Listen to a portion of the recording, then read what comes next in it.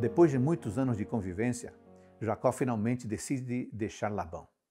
Quais foram as razões para a separação? Primeira, o ressentimento de Labão. Os filhos de Labão fizeram com que o coração do pai se voltasse contra seu genro.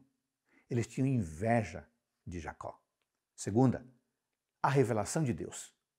O Senhor disse a Jacó: Volta para a terra de teus pais, volta para a tua família. Terceira razão, a confirmação de Lia e de Raquel. As esposas de Jacó o encorajaram a fazer o que Deus lhe ordenara. Além disso, Jacó sente que Labão o enganou, mudando seu salário em dez ocasiões. Chegou o um momento em que Labão descobre que Jacó e todo o seu acampamento haviam ido embora, sem dizer nada, e que haviam roubado os ídolos da família. Então, resolveu ir atrás deles.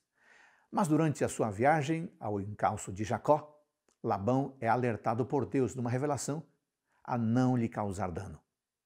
Quando se encontram, Labão pergunta: Por que fugiste ocultamente? Por que me furtaste os meus deuses? Jacó responde que a desonestidade de Labão o fez fugir. Ele explica ter fugido secretamente, movido pelo medo, mas insiste em não ter furtado os deuses de Labão. Finalmente, os dois concordam em uma trégua, construindo uma coluna de pedras para servir de lembrete visível para ambos. Alguns aprendizados muito importantes para nós a partir da leitura de hoje. Primeiro aprendizado: o amor do país e dos amigos está profundamente implantado no coração humano. Segundo ensinamento: o amor ao dinheiro ou a ganância do lucro é a raiz de todo tipo de mal e provoca terríveis brigas familiares. Terceira lição: as promessas de Deus, por mais demoradas que sejam, um dia se cumprirão. Número 4. Maridos amorosos e sábios devem consultar a sua esposa em todos os passos e decisões importantes da vida.